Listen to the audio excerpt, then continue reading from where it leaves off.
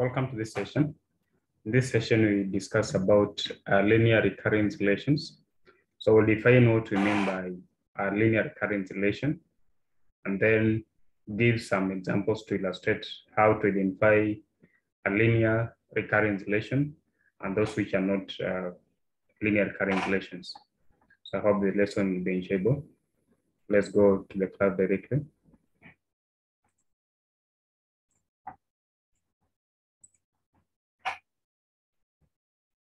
So let's start by defining what we mean by a linear recurrence relation. So definition.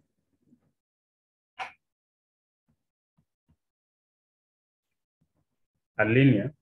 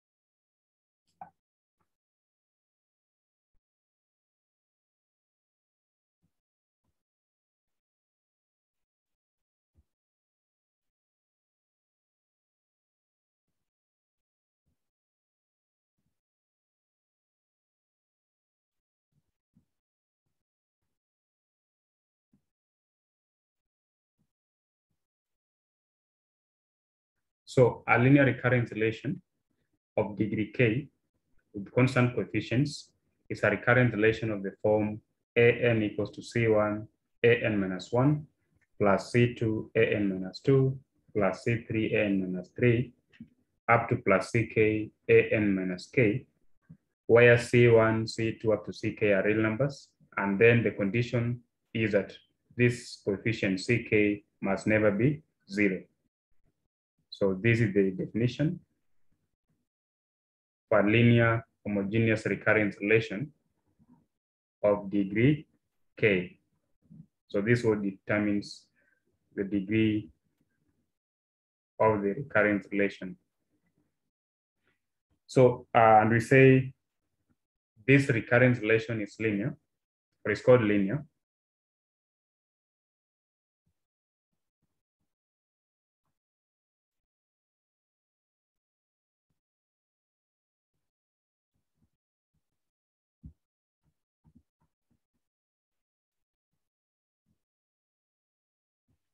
because the previous terms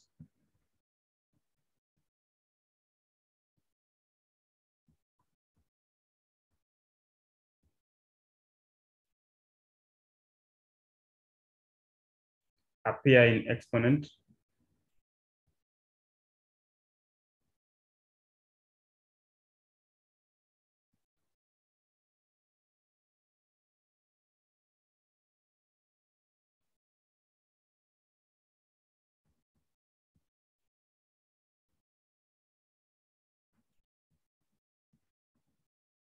not squared.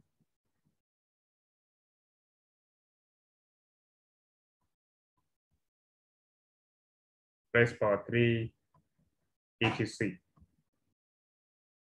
And we call homogeneous.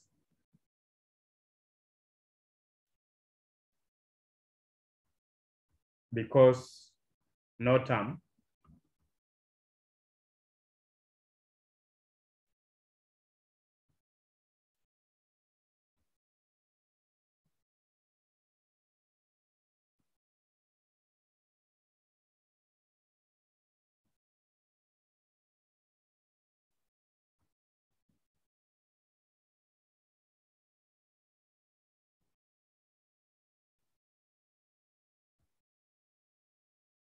So homogeneous because no other term other, other than the multiples of A i's. And then degree K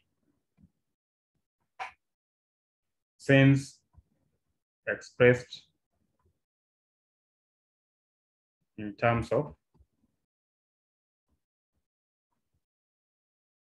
previous K terms.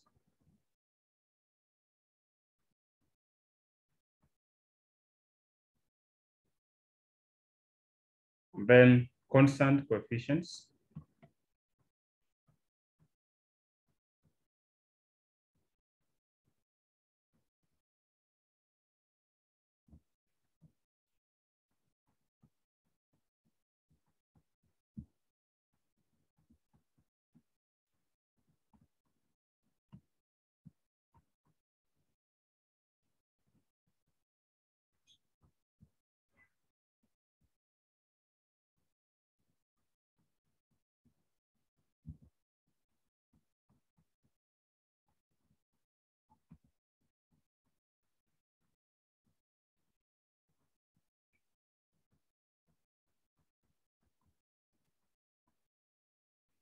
So we have, we call it, this is a constant with constant coefficients because coefficients in front of the terms AI, AIs are constants instead of general functions.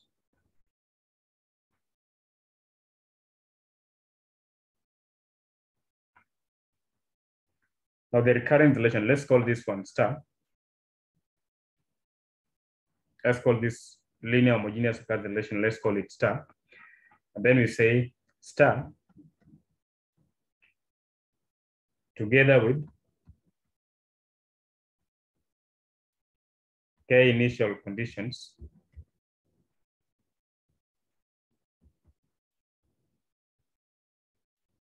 uniquely determines the sequence.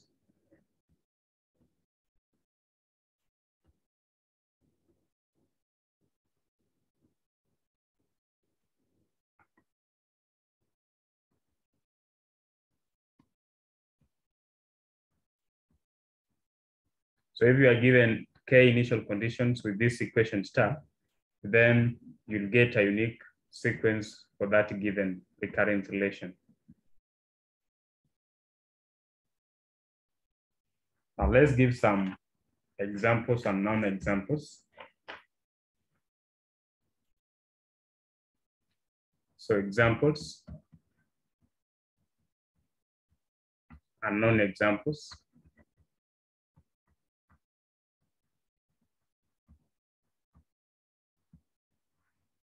So one, if we have a recurrent relation of the form P n equals to 1.11 Pn minus one, then is linear, homogeneous,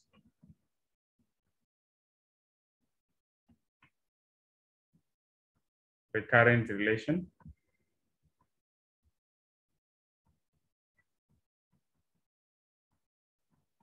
of degree one. This is the K value. Number two, if we have Fn equals to Fn minus one plus Fn minus two, this is a Fibonacci sequence, is linear, homogeneous,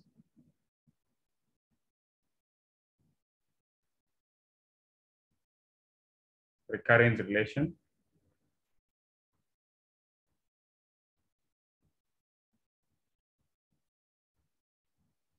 of degree two. So the K value here is two.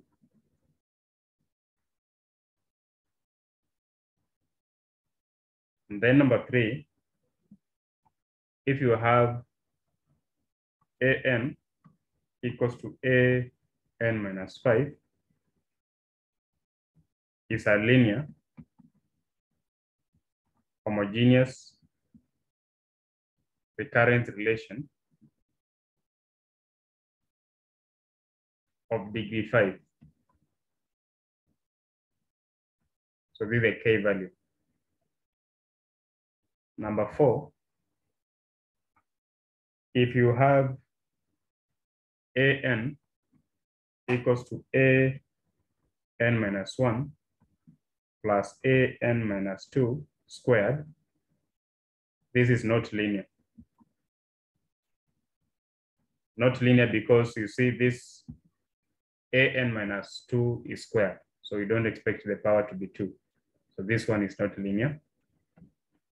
Number five, if you have capital Hn equals to 2 Hn minus 1 plus 1 is not homogeneous because of this term 1.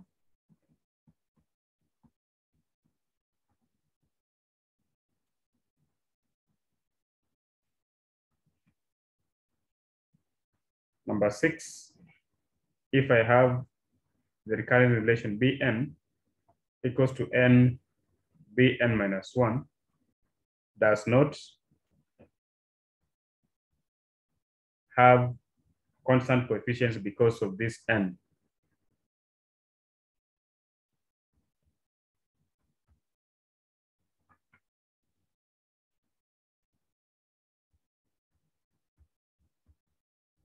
So what makes it not have constant coefficients because we have this n, which varies depending on the value of n chosen.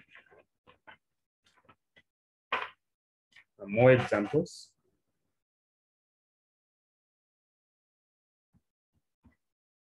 If I have an equals to 5 an minus 1 minus 4 an minus 2 plus n squared is second order or degree k, uh, degree 2 because of this is the value of k. Second order recurrence relation.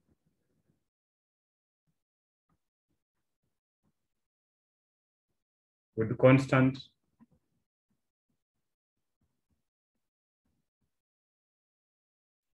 coefficients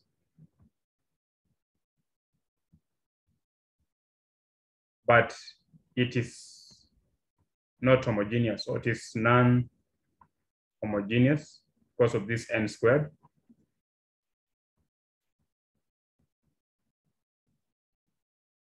Since it has n squared. Now we can generate some terms of this sequence. So assuming if initial conditions are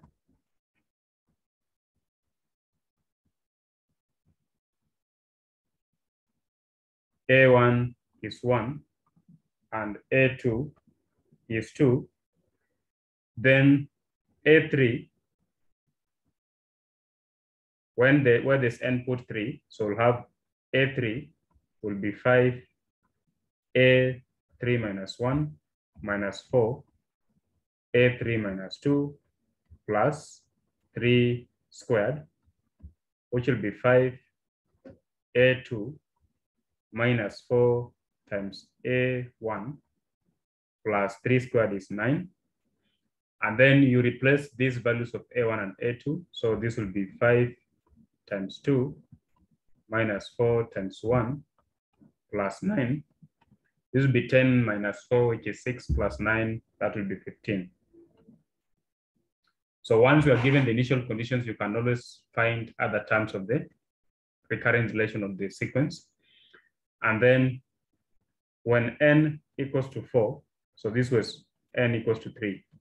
So A4 will be given by 5, A4 minus 1, minus 4, A4 minus 2, plus 4 squared, which will be 5, A3 minus 4, A2, 4 squared is 16.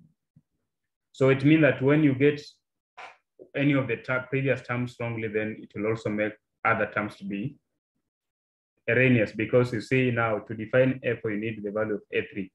So we'll have 5 into 15 minus 4 into A2 is 2 plus 16. So 5 times 15 minus 4 times 2 plus 16 will give us 83. So therefore, A4 term is 83.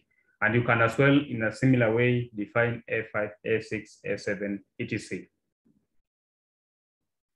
Uh, number eight example, is it eight of, yes, eight. If you have this recurrent relation, AN equals to two AN minus one times AN minus two plus N squared, then you say the product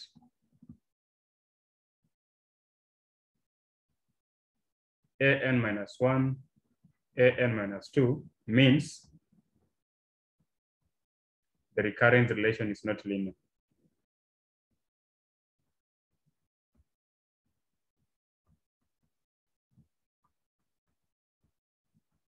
Or simply nonlinear, it's not linear. So given, assuming that we have the initial conditions,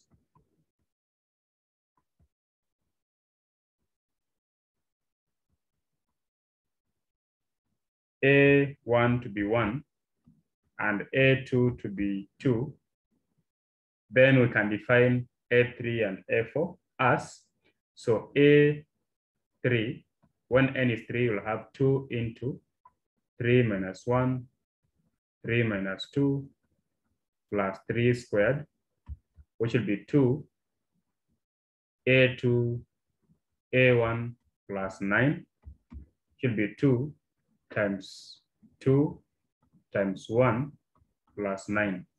2 by 2 by 1 is 4. 4 plus 9 is 13. So therefore, A3 will be 13. And then A4 means n equals to 4. So it'll be 2 into 4 minus 1, 4 minus 2, plus 4 squared, which will be 2.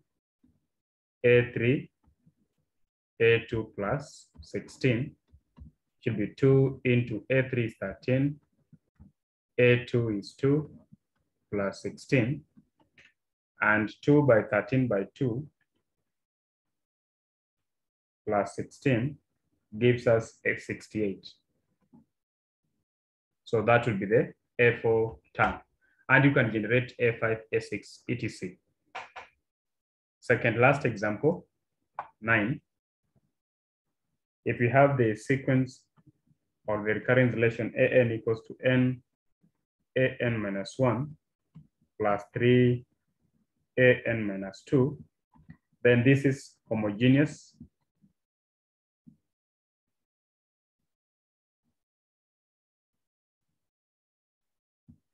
Linear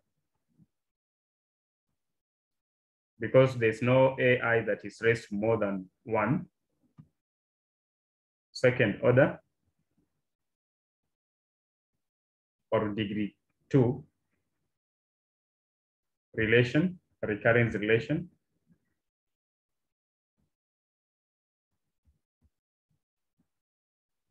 But it does not have constant coefficients.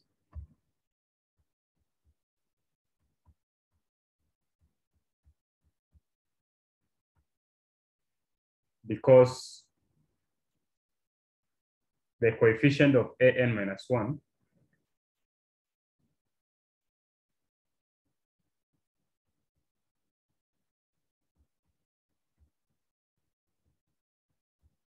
is n, which is not a constant. So meaning that different values of n will give different values of the coefficient of an minus 1 term. So uh, given that the initial conditions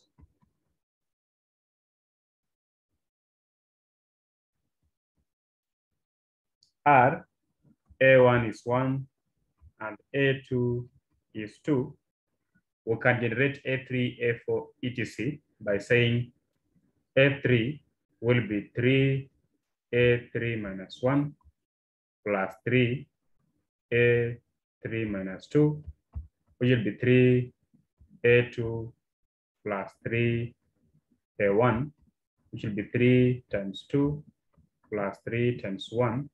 This is 6 plus 3, we get 9. And then A4 will be 4, A4 minus 1 plus 3, A4 minus 2, which is 4, A3 plus 3, A2, which will be 4 into 9 plus 3 into 2, that 6 plus 6 is 42. So this means that in if you make any mistake in a previous term on a recurrence relation, then the preceding terms will be erroneous because they depend on what precedes those terms. So you have to be very careful. And lastly, number four, number 10, which is the last example, an equals to 2 an minus 1 plus 5 an minus 2 minus 6 an minus 3. This is homogeneous.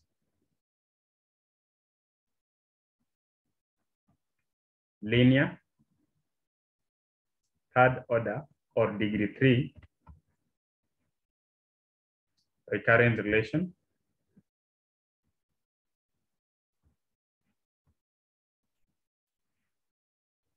with constant coefficients.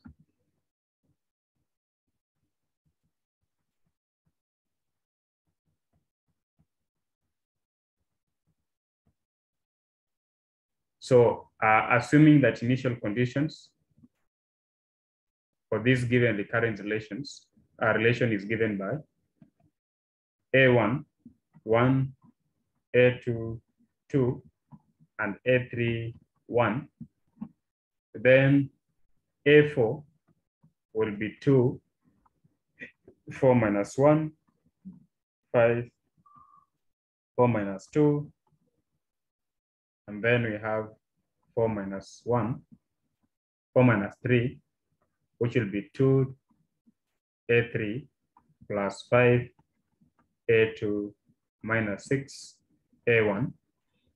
You substitute A3, you put 1, A2 you put 2, A1 you put 1. So this will give us 2 plus 10 minus 6, which will give us 6. And if you work out A5, we should get the answer to be 37, a negative 37. And if you work out A6, should get 254.